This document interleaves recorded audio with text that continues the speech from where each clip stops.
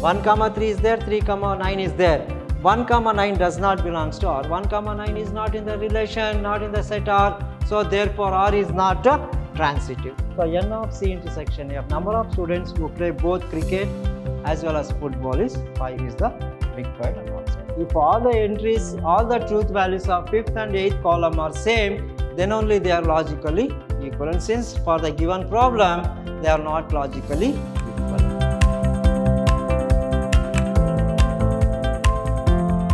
Hello dear students, welcome to this session of discrete mathematics class.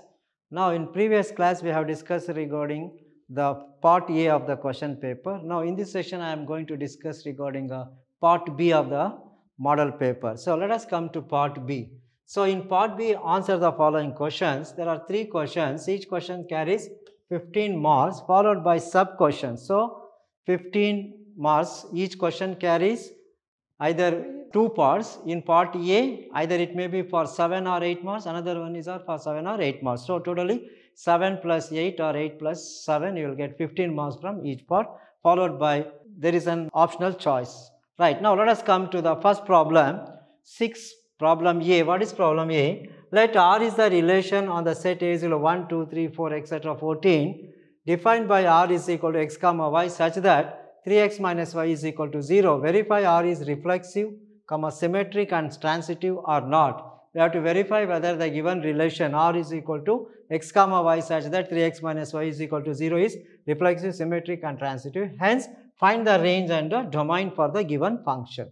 Now, what is given here? Let us come to the answer. Let what is given A is equal to the set which contains 1, 2, 3, 4, etc. up to 14 and the relation R is defined by x comma y is equal to x comma y such that x 3x minus y is equal to 0.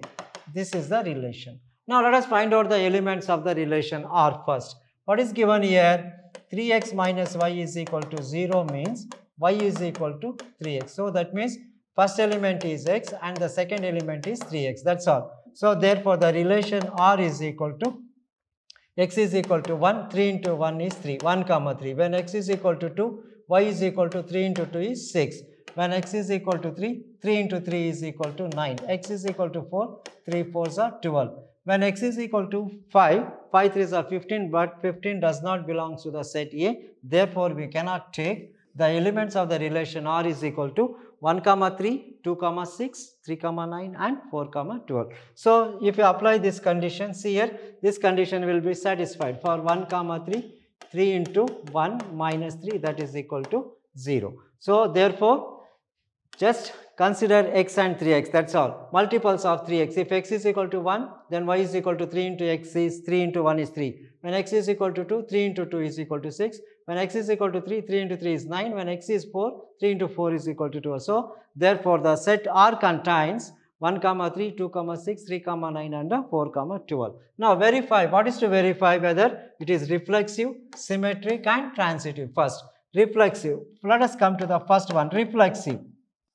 Reflexive property. What is reflexive property? For all A, for all A belongs to the set capital A, if A comma A belongs to R, if A comma A belongs to R, then it is reflexive. Let us see here 1 comma 1, 2 comma 2, 3 comma 3, 4 comma 3, 14 comma 14 does not belongs to the set R since 1 comma 1 or 2 comma 2 does not belongs to R. So, what do you say? Therefore, R is not reflexive. Therefore, R is not reflexive. This is not reflexive.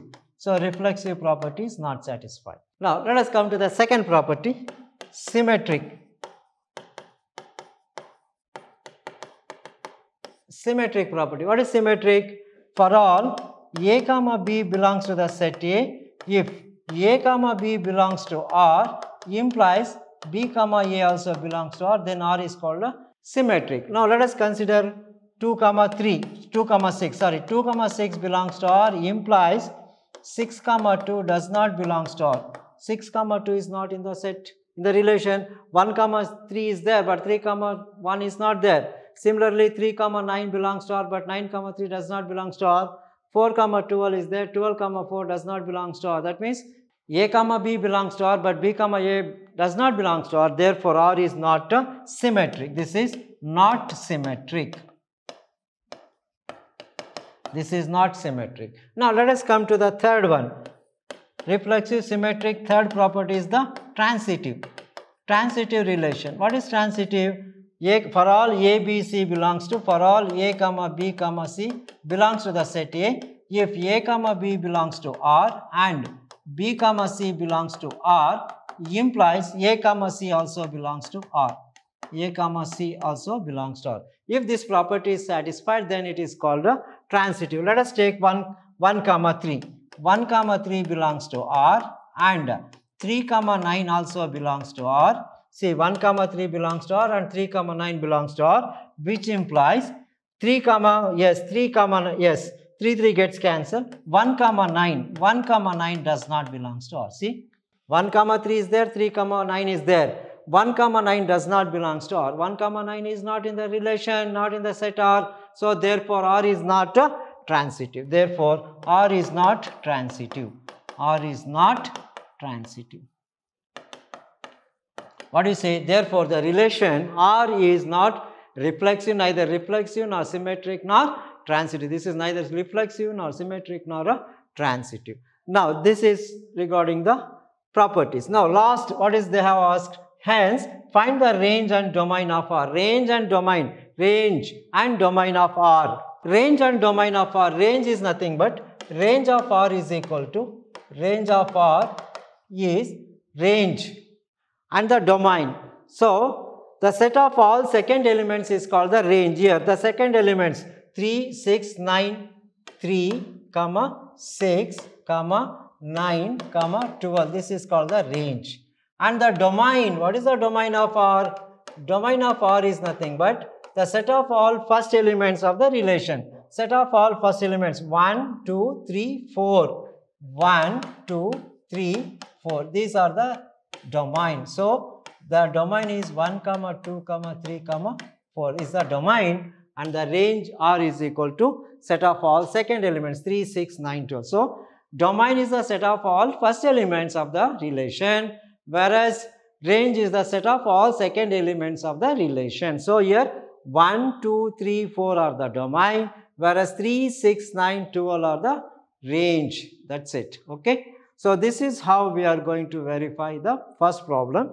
So, this carries 8 marks this is an 8 marks question. So, if you do this much you will get 8 marks hope you followed ok. Let us come to the next problem. What is the next problem? In a class of 35 students, 25 likes to play cricket and 16 likes to play football. Also, each also each students like to play at least one of the two games. How many two students like to play both cricket and football? So, here in a class of uh, how many students are there? 35 students are there. 24 likes to play cricket and 16 likes to play football. Let us represent the number of students who play cricket as C. C represents the number of students who will play cricket and uh, number of students who play football. Football is F. N of F will represent number of students who play football. So, there are 35 students means that is nothing but union. So, let us write down what are the condition given. Union is given. Number of students who play cricket is given. Number of students who play football is given. What is required to find is how many students like to play both cricket and uh, football. That's it. Okay. Now let us come to the solution here. What is given? Given. So number of students who play cricket, union football is equal to 35 that is given. Number of students who play cricket, number of students who play cricket will be 24 and the number of students who play football, number of students who play football is equal to 16 and n of number of students who play cricket and football is the question mark. That's it okay. Just using this formula we know that n of C union F is equal to n of C plus n of F minus n of C intersection F. What is n of C union F? That is equal to 35 is equal to n of C 24, n of F is 16 minus n of C intersection F. So, 35 is equal to 24 plus 16, 24 plus 16 is nothing but 40 minus n of C intersection F. Now transfer this. So, n of C intersection F is equal to 40 minus 35 that's equal to 5. So therefore the number of students who play both the number of students who play cricket as well as football is equal to 5 that's it. So the required answer is 5 that's it very simple. Number of students who play both cricket and football is n of c union f is 35 n of c number of students who play cricket is 24 football is 16 what is required to find is both n of c intersection f. So, here n of c intersection f is equal to n of c plus n of f minus n of c intersection f. 35 is equal to 24 plus 16 minus n of c intersection f. 24 plus 16 is 40. 35 is equal to 40 minus n intersection f. So, n of intersection f is required to be determined. So, therefore, transfer this plus 35 to right hand side 40 minus 35 is 5. So, n of c intersection f number of students who play both cricket as well as football is 5 is the required answer. That is it. Hope you follow. This is for a 7 marks. So, you may expect you may get this type of problem for a 7 marks. The previous one is 8. 8 plus 7 is 15. Okay. Now, for this there is a choice. You can go for the choice. R this is R question. R or R A and B. There are two questions A and B. So, verify for any three proposition P, Q, R, P conditional to Q conjunction R is logically equivalent to P conditional to Q conjunction P conditional to R. So, we have to verify whether this is logically equivalent or not. Now, let us come to this problem. So, to verify whether this is logically equivalent or not, what is the given problem given? So, I will go to the next page. P conditional to Q given P conditional to Q conjunction R, Q conjunction R is logically equivalent to, logically equivalent to P conditional Q, P conditional to Q and conjunction Q conditional to R. Now, we have to verify whether this is logically equivalent or not. Now, let us write down the elements of this P, Q and R for three proposition P, Q, R. Now, just write down Q conjunction R first, Q conjunction R, then P conditional to Q conjunction R. This is the first part. And the second part, P conditional to Q and Q conditional to R, then P conditional to P conditional to Q conjunction Q conditional to R. This is how we are going to split. Okay. Now, let us write down the elements. As you know, the elements of uh, P are nothing but true, true, true, true, 4 true, remaining 4 false, false, false, false and false. First true, true, true, true, true, false, false. First, since it contains P, Q, R as the proposition 3. So, for uh, 3 propositions, 2 into 2 into 2, 2 to the 4 to the 8. So, P contains true, true, true, true, false, false, false. So, 4 true, 4 false. Next, Q contains T, T, 2 true and true, false. Alternative, T, T and true, false. So, T, T, F, F, T, T, F, F. So, T, T, F, F, T, T, F, F. So, and whereas for R alternative true and false, true, false, true, false, true, false, true, false. In each cases, there are 8 elements. Now, Q conjunction R first, conjunction between these two, right? Now, as you know, conjunction true and true is true, remaining cases it is false. So, true and true is true, true, yes, true and true, Q and R. For these two, we are going to write the conjunction. Remember, conjunction means true and true is true, remaining are all false. True and false is false, false and true is also false, false and false is also false, true and true is true, true and false is false, false and true is false, and false and false is false. So, true and true is true, true and true is true, remaining all cases it is false. Next, P conditional to Q conjunction R. So, the conditional for these two, P conditional to Q conjunction R, right. Now, you know for conditional true and false is false, in all remaining cases it is true. So, let us write the conditional statement for P and Q conjunction So, for conditional true and false is false, in all the cases it is true. Now, true and true is true. Next, true and false it is false. True and false also it is false. Again, true and false is also it is false. Next, true and true is true. True and false is false. True and false is false. True and false is also false. False and true. False and true is true. Again, false and false is also true. False and false is also true. False and false is also true. So T, F, F, F, T, T, T, T you will get. Now in the second part, first write out the conditional for a P conditional to Q. The conditional for these two. Conditional as you know, true and false is false, all cases are true. So true and true is true, true and true is true, true and false is false, again true and false is false, again false and true is true, false and true is true, false and false is also true, false and false is also true. After writing P conditional to Q, let us come to Q conditional to R. Q and R, the conditional for these two. True and true is true, right?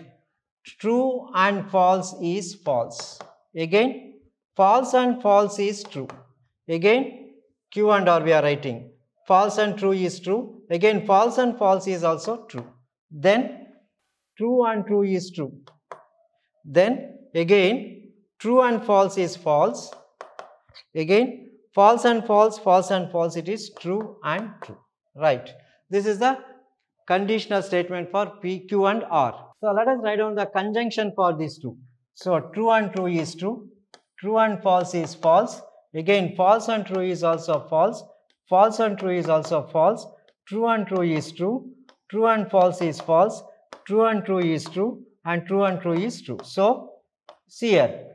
Now, let us uh, write down this 1, 2, third column, fourth, fifth column, this is sixth column, seventh and eighth column.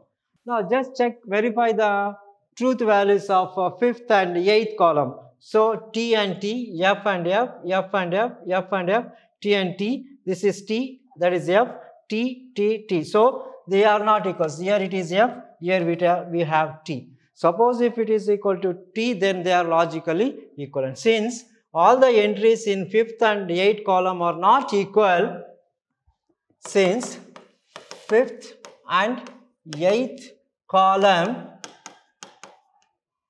truth values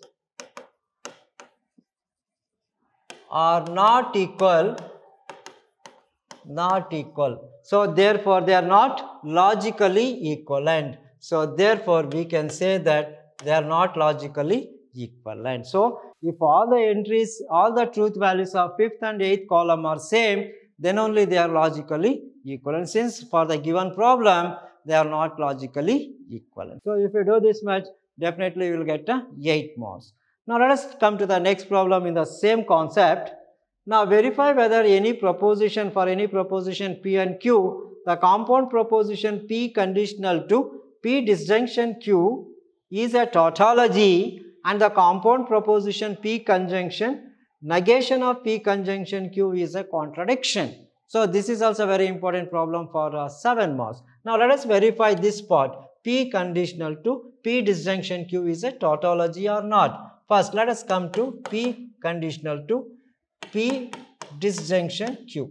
Now, P, Q, P disjunction Q and P conditional to P disjunction Q. Now, so here you know the elements are the truth values for P is true and true, F and F. This is alternative true, false, true, false.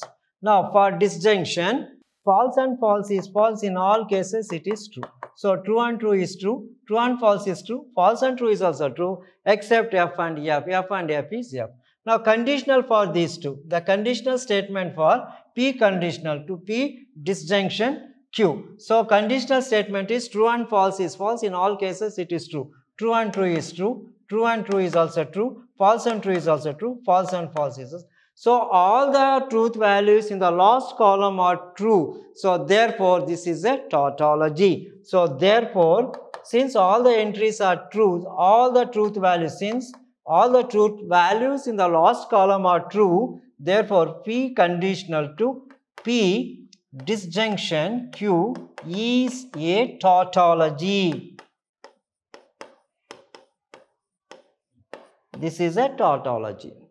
Right. Now, let us come to the second part of the problem. What is the second part? To prove that P conjunction, negation of P conjunction Q is a contradiction. Let us come to the second part.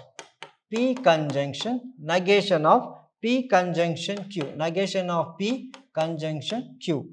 So, P, Q, then negation of P, then this part negation P conjunction Q, then P conjunction, negation of P conjunction Q. Okay.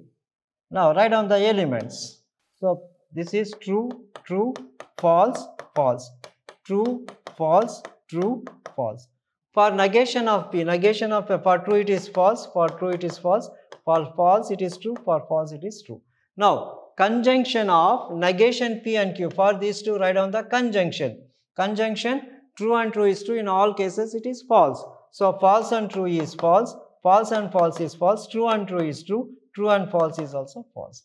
Now, again conjunction for these two, conjunction for uh, these two, P conjunction, negation of P conjunction, negation of Q. Conjunction means again true and true is true, in all cases it is false. So, true and false is false, true and false is false, false and true is false, false and false is false. What do you say in the last column, all the truth values are F, F, F, F. That means, therefore, this is a contradiction. See, here all the truth values are F and F. So, therefore, you can write P conjunction, negation of P, conjunction Q is a contradiction. This is a contradiction. So, the first one is a tautology and the second one is a contradiction. That's it. If you do this much, definitely you will get 4 plus 4, 8 marks or 7 marks or sometimes 3 plus 3, 6 marks. This is how we are going to verify the given compound proposition is whether tautology or a contradiction and the previous one is the logically equivalence or not. That's all regarding uh, this session. Let us take uh, the different problems in the next session. Thank you. Thank you very much.